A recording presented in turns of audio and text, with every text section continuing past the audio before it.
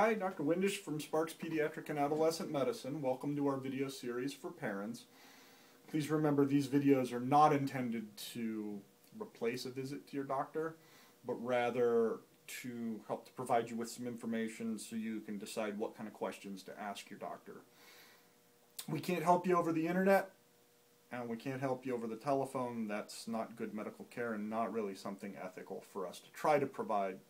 However, if we can be of assistance, please give us a call here in our office, area code 775-359-7111. Let me preface this by saying, um, sorry about the long hiatus. Things have just been kind of crazy around here lately. Uh, and if you haven't recently, check out our website, www.sparks, S-P-A-R-K-S, P-E-D-S, all one word, dot com. We have tons of new content and a whole new layout. Today what we'd like to talk about is undescended testicle in a newborn. And this is a very common event, and parents often come to us very concerned. In the hospital, they couldn't find one of his testicles. Do I need to be concerned? That is the question. The answer is, in a nutshell, probably not. But the full answer is a little more complicated, so we kind of want to look at that.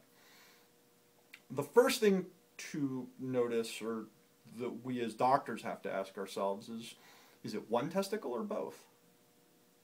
If it's just one testicle, and the rest of the child's genitalia is normal, then we don't have anything to worry about for the time being.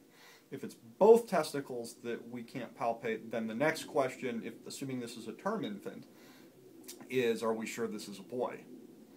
And there are lots of things that have to run through the back of our mind and that we have to consider that's actually a really complicated proposition. We're not going to get into that because that's an unusual scenario. Um, what we really want to talk about is the infant who is otherwise healthy, normal appearing genitalia, but one testicle is not, not palpable. So then the next question is, is it undescended or is it retractile? Meaning, did it disappear up high into the scrotum and we're just missing it.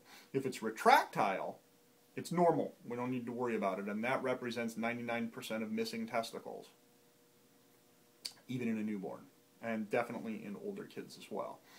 Um, but retractile testicles are never a problem. We don't worry about them. You shouldn't worry about them. They don't affect fertility. There's no, no cancer problems, nothing assuming it's truly undescended and it is unilateral, one side, everything else is normal, then the thing to do is to keep watch on it for the first six months of life. If by six months of age it's still not descended, that then is time to begin to work up this undescended testicle and figure out what the problem is.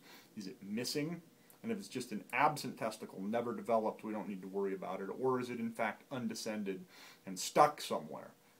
If that is the case, then that needs to be surgically repaired somewhere between 9 and 12 months of age because that can affect future fertility and increase your cancer risk later. The good news is by 6 months of age, of those few testicles that were truly undescended and not retractile, where we don't worry anyway, um, most have dropped down by 6 months of age. But if it's not by 6 months of age, really need to start working that up and looking further at the situation. So hopefully this kind of provides some relief to a lot of parents who who whose kids are missing a testicle at birth because uh, the reality is most of them will be there by six months of age. And, and most of them are already present. They're just retractile anyway. And by six months of age they're found and as long as they're found all is good uh, I hope this has helped to alleviate some of your concerns and make you feel better. If we can be of assistance here, our uh, telephone number is 775 359 7111. We'll see you next time.